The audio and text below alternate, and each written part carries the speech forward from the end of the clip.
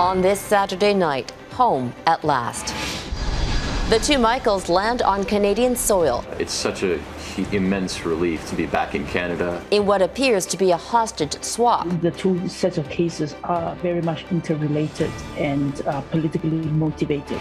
Will this thaw China Canada relations? Under investigation, the serious allegations facing Canada's military police. And President Biden faces backlash after expelling thousands of Haitian migrants. Global National with Robin Gill.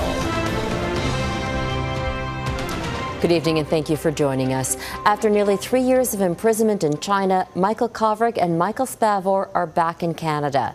The two landed at Calgary International Airport early this morning, where they were greeted on the tarmac by Prime Minister Justin Trudeau. Kovrig continued on to Toronto, where he was reunited with his wife and sister. The two men were jailed in what's widely seen as retaliation for the arrest of Huawei executive Meng Wanzhou. The Canadians were on a plane at almost the exact same time Meng left Vancouver after reaching a deal with U.S. prosecutors. Jeff Semple has more on the joyous homecoming. After 1,020 days in detention in China, Michael Kovrig is finally home. I feel great. Uh, frankly, I feel fantastic. Uh, it's such a immense relief to be back in Canada, to be here home with my family again. Uh, I, feel like I'm on top of the world, and I'm just immensely grateful uh, to everyone who has been working so hard for these over a thousand days to bring both me and Michael Spavor home. Uh, it's fantastic. Thank you so much, and I'm really looking forward to the future with my family. He and Michael Spavor landed early this morning, first in Calgary, where they were embraced by the Canadian Prime Minister and even seen sharing a laugh. From there, Kovrig traveled onwards to Toronto, met on the tarmac by his sister and his wife, Vina Nadjibulla. Speaking to Global News just hours after arriving in Toronto, his first day home after nearly three years in a Chinese prison cell, Kovrig seemed full of life, even cracking jokes and he also wanted to say thanks. I didn't know most of what was happening in the outside world, but all the, the, the knowing that so many Canadians and others were aware of our situation and sending messages of support uh, really meant a lot to us. So thank you, thank everybody for that. Those comments echoed by his wife Vina, who led the family's fight to bring him home. For the first time in a long time, she was smiling ear to ear immense gratitude. We're happy he's here. it's it's been a thousand and twenty days of working for this moment. The moment is here. I am so grateful to everybody, Ambassador Barton, Canadian government, U.S. government, everybody who worked to make this day happen, yeah. and to all Canadians who have been with us every step of the way. I'm just still learning how to breathe again because I feel like I've been holding my breath for almost three years. So, yeah, that's about that. Kevin and Julia Garratt know the feeling. The Canadians were detained in China in 2014 under similar circumstances and remember what it was like to hug someone for the first time in years. Yeah, and just thinking about all the firsts. Yeah. Like just imagining their family hugging and that that moment of just coming mm-hmm. together and the first drink of coffee that you can go get by yourself. I remember waking up the, fir- the very first morning after I arrived and, uh, you know, I just wanted a coffee. So Starbucks opened, which was nearby where we were staying. And uh, walking in there, getting a coffee and seeing my face on the front page of the paper, thinking, why is that there?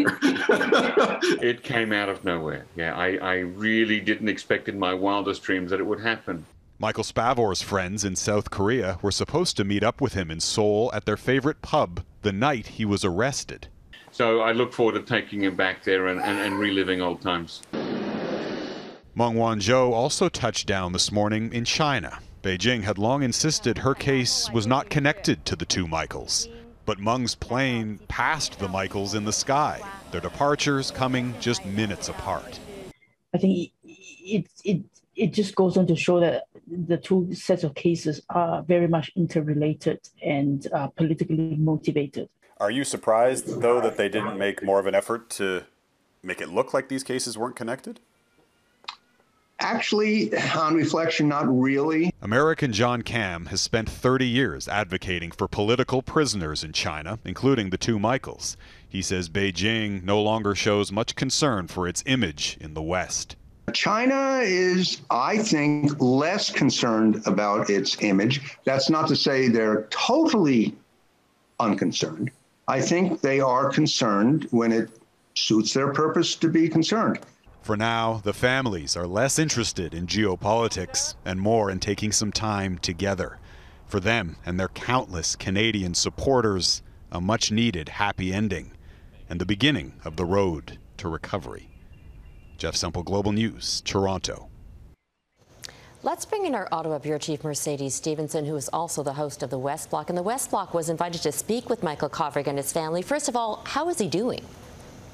You know, just um, amazing, as, as you heard a little bit about in Jeff's piece there, Robin. Uh, he was smiling, he was joking about being well rested, um, but you could just feel the energy and the radiance from this family that are so relieved to finally have their loved one home. Uh, I asked his wife, Vina, what it was like when she saw him coming off the plane and how that felt. Take a listen to this. What was the moment like when you first saw Michael stepping off the plane and you were able to embrace him?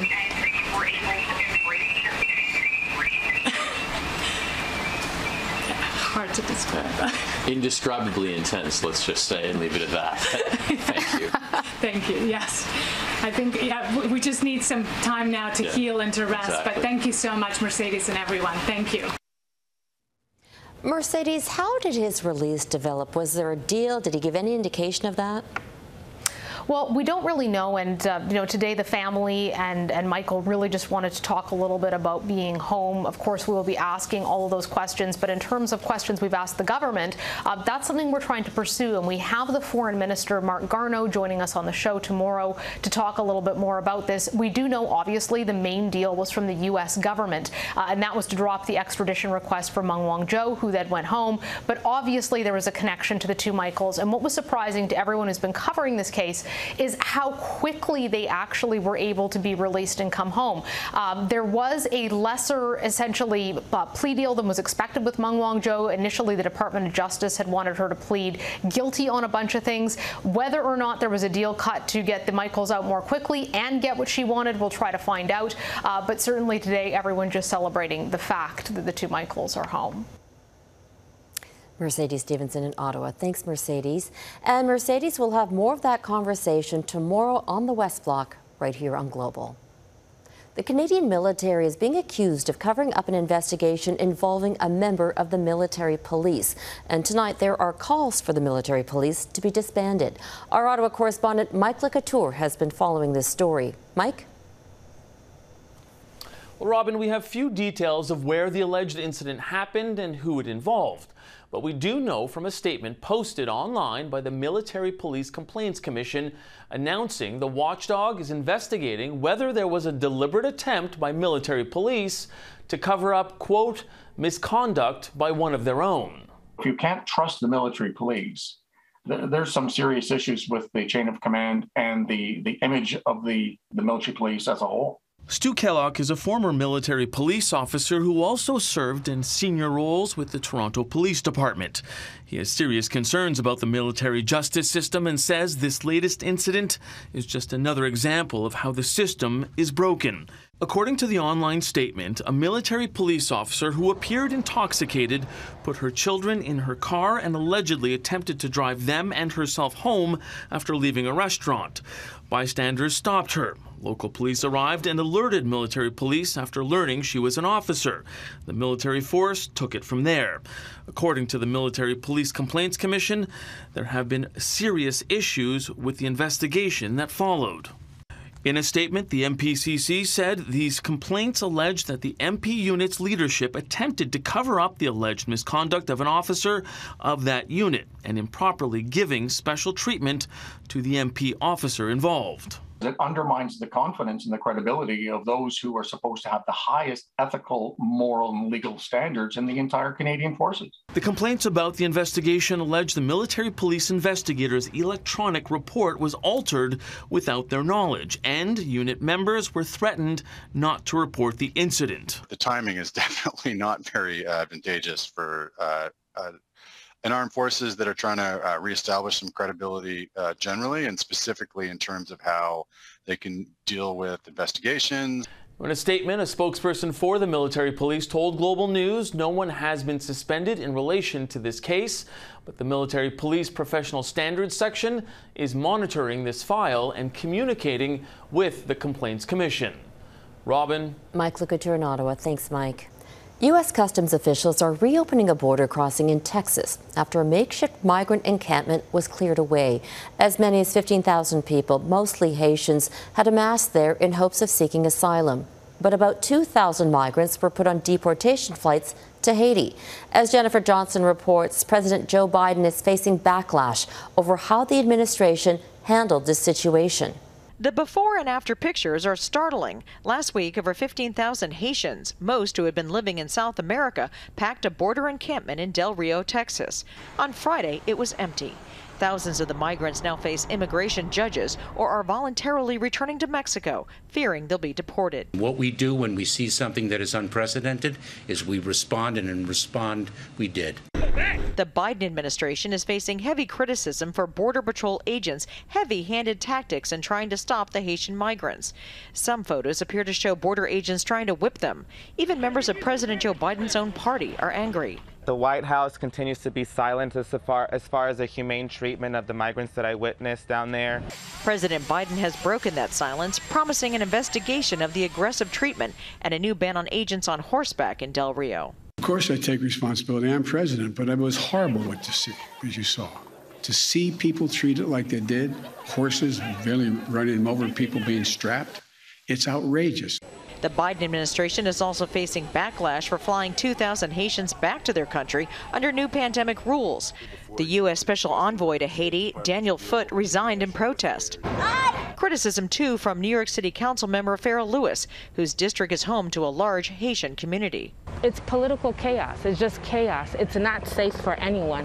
And they're going back knowing that they have nothing to go back to. These people have given up everything. Now their futures are uncertain, including for 10 babies born at the camp. Despite dire conditions, no lives were lost this time. Law enforcement officials believe another caravan of about 20,000 migrants is in South Mexico and heading to Del Rio. Jennifer Johnson, Global News, Washington.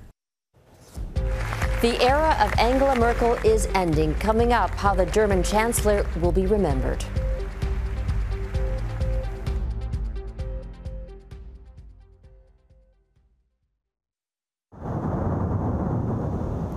The volcano on Spain's La Palma Island is entering an explosive new phase. On Friday, officials say volcanic measurements recorded the highest energy activity from the eruption so far. A new emission vent has also formed along the volcano. Ash has now forced the island's only airport to close, though ferries are still available for travel. Nearly 6,000 people on the island have been forced to leave. Tomorrow, Germans head to the polls to choose the country's next leader. Angela Merkel's successor in the center-right Christian Democratic Union is neck and neck in the polls with the candidate from the center-left Socialist Democratic Party. Whoever wins will have some big shoes to fill. Merkel was influential in shaping policy well beyond her country's borders, so the race to replace her is being closely watched. Redmond Shannon looks at the legacy she leaves behind. Angela Merkel is believed to be terrified of dogs. In 2007, Vladimir Putin brought his black Labrador to a meeting with her. Clearly uncomfortable, she was still able to joke about it in fluent Russian. Those who have followed Merkel's career say her ability to engage Putin is partly down to her early life in communist East Germany. Putin, who's often tried to outsmart her, has come to respect her uh, because she's somebody who hasn't been bowled over, somebody who who sort of knows his game from, from the inside. Merkel has worked with four U.S. presidents, most closely with Barack Obama. Chancellor Merkel has been an outstanding partner. Obama's visit to Germany in the days after Donald Trump's election victory reportedly inspired Merkel to seek a fourth term. The leader of the free world was considered to be Angela Merkel because she was the one who, who through her focus on, on um, on pragmatism was the one who could stand up to uh, to Trump. I have German in my blood. I'll be there. Merkel and Trump's leadership styles could barely have been more different. She has a tendency to sort of sit down and think the problem through. She was an experimental physicist, quantum chemistry. In the wake of the Fukushima nuclear disaster, she U turned on nuclear power, deciding to phase it out in Germany. But her analytical method also had its drawbacks, notably during the Eurozone debt crisis a decade ago. There's nothing rational about financial markets it was the psychological thing that she missed in her attempt to make this a rational, solvable problem. European austerity policies supported by Merkel made her unpopular in the countries hit hardest by the economic crisis. Many of the same nations were on the front line of the 2015 refugee crisis. Perhaps Merkel's greatest legacy was to welcome one million of those refugees. Famously saying, We can do this. They did it, and voters backed Merkel's moral stand in 2017, although many others moved to the far right too. Supporters and opponents agree that the woman nicknamed Mutti, or Mother, has left a lasting mark at the centre of Europe. Redmond Shannon, Global News, London. Still ahead, why Canadians are about to see bigger digits on their cell phone bills.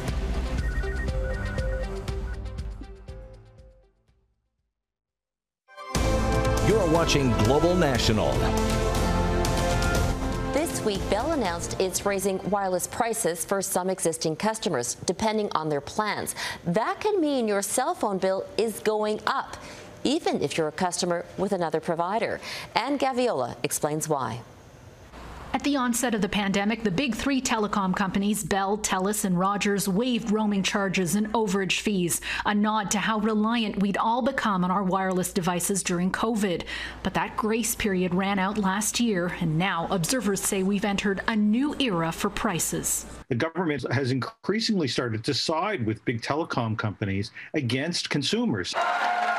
We have a freshly elected minority government. You may recall there was no mention of cell phone affordability anywhere in the Liberals' 89 page platform, even though polls showed the issue is important to voters. This week, Bell has let some customers know that price hikes are coming to certain plans. Starting in November, data overage rates will jump for them from 10 to $13 per 100 megabytes, and long distance calls within Canada and the US will go from 65 cents a minute to 75. TELUS tells Global News its current rate plan suite doesn't have data overages, and there are no plans to change long distance data rates within Canada and the US in the foreseeable future. Rogers did not respond to a request for comment. But analysts tell Global News this is a definite sign of things to come. In the past, the major players have hiked prices in rapid succession. And researchers at Open Media say there's no reason to think that this time around is going to be any different or that there aren't more price increases to come. And all of this is happening as wireless prices around the world continue to fall. The real question we need to be asking ourselves is uh, is the huge gap between what Canadians pay for mobile and internet data and what places uh, other countries pay for it is that gap shrinking. Um, and it's it's not. Uh, we don't see any evidence that we're we're making up that ground. The pushback from major carriers is that they're investing billions in 5G, the next generation of the internet, which will be key for truly unlimited data plans and things like connected cars and homes. It comes at a cost to consumers. If the big three weren't turning some of the highest profits of all telecom companies per customer in the whole world, uh, it might be more believable. Uh, but we know that they are. Anne Gaviola, Global News, Toronto. Pandemic pet problems. Up next, the animals who gave comfort are now being given away.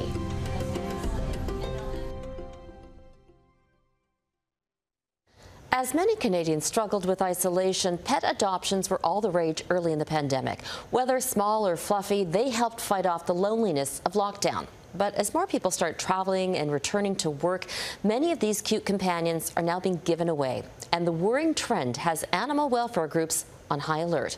Crystal Goomansingh reports. Play quieter. Call it creature comfort. Shut in by the pandemic, people all over turned to animals. Just innocent, loving pets that just want to be loved. And uh, that's what I needed too, so it, it worked out. Pet adoption spiked when human contact wasn't an option. Linda Wynn says she wouldn't know what to do without her beloved dogs. But for others, priorities are shifting. Many are back working at the office, people want to travel, and go out. The UK's largest dog welfare charity has seen traffic on its Giving Up Your Dog page jump 100% in the past six months. Calls about surrendering animals started just after July 19th, when nearly all restrictions in England were lifted. So far, dogs aren't being returned en masse, but the group fears that wave could be coming. Canadian groups such as the Toronto Humane Society says thankfully it hasn't seen a similar increase in calls. Rehoming pets is incredibly hard. In Germany last month, one animal group turned to Tinder. Yet Tinder, the dating app. The Munich Animal Welfare Association thought maybe someone would swipe right on a good boy. Gillian Moss says, quite simply, it's fun. This is something new, something creative, which we definitely support. Support is something animal shelters are always looking for. The pandemic at first seemed to lead to so many perfect matches. Now agencies fear they'll need to dream up even more creative ways to rehome pandemic pets even after they provided their humans with the love and support they needed. Crystal Goomansingh, Global News, London. And that is Global National for this Saturday night. I'm Robin Gill. Tonight, your Canada is a sure sign of fall, a red maple leaf in Oakville, Ontario. Thank you for watching. Good night.